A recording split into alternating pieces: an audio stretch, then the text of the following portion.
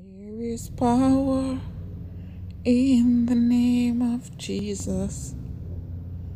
There is power in the name of Jesus to break every chain, break every chain, break every chain. Hey guys, um, good morning. Um, so as you know, this is your girl Sofie coming to you this morning with um a Psalms a day, keep the devil away. Like I said, it's a series um thingy I'm trying to do on my on my channel where I will read um a scripture from the Bible, Psalms, yes, and um yeah leave it with you guys so you know because guys we're all busy sometimes and you know we forgot to you know reach out to god give him thanks so yeah i just said you know for those who are a subscriber um, of mine and so on will at least you know hear um, something so yes guys so um today um i'm going to be reading psalms 35 and it says plead my cause o lord with them that strive with me. Fight against them that fight against me. Take hold of shield and buckler and stand up for mine help.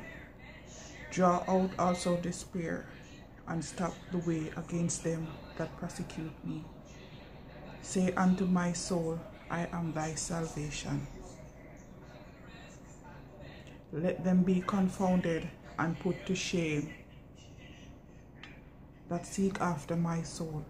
Let them be turned back and brought to confusion that devise my hurt.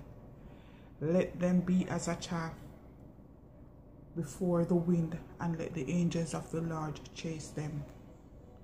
Let their way be dark and slippery, and let the angels of the Lord persecute them. For without cause they have hid for me their net in a pit which without cause they have digged for my soul. Let them dis- let destruction come upon them, and unaware, unaware, sorry, and unaware, let his net that hatch it catch himself unto into that very destruction. Let them fall. This is the word of God thanks be to god.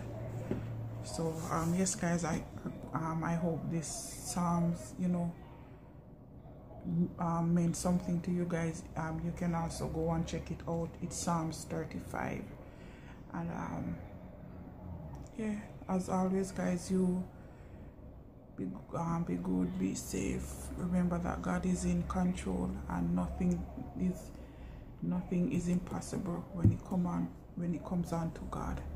So take care guys. All the bless all the best, sorry, and I'll see you in my next video tomorrow. Take care. Bye. Love you guys.